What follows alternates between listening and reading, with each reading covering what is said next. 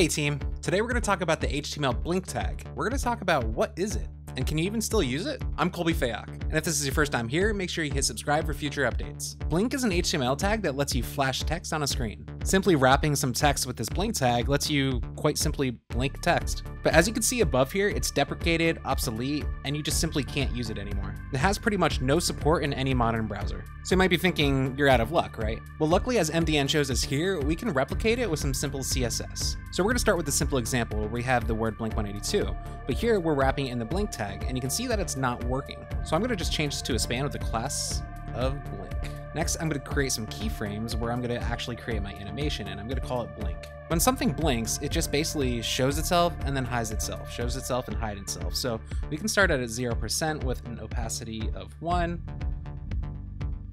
Then we can set 50% at opacity 0, and then we can go back to 100% where we set the opacity at 1 again. And now that we have those keyframes, we can actually create a class for our blink span tag, and we can define the animation.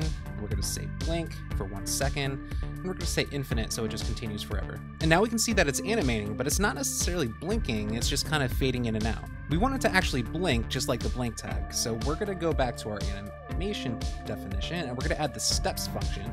We're going to say for one step and position it at the end. And now we can see that our blink is actually blinking. So it's 2020. We could probably do something a little bit fancier than just a blinking tag, right? Well, actually, like before, if we remove those steps, I feel like that's a little bit more modern than having just a simple blink tag anyways. The fade out is a little bit nicer of a touch. Or what if we wanted to try to do one of those cool sci-fi effects where it kind of fades out to a blue? So I'm going to change the keyframes and remove this 50%. I'm going to change the 100% to zero and set a color of blue. And now we can see when it fades out, it fades out to blue, which gives that cool retro-y sci-fi-y look.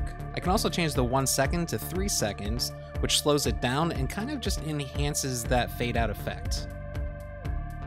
Now something else that might be cool is if I make it grow out to fade out, and then it kind of comes back in with a fade. So I'm gonna add back in my 50%, and in there, I'm gonna make it transform, scale to two, and I'm gonna set that opacity to zero. And now we can see that it starts to fade out as it grows out. Next, I'm gonna add a 51%, and I'm gonna set that opacity to zero to make sure it stays there, but I'm gonna transform it to scale of zero, because then, let's remove that color of blue since we don't need it anymore.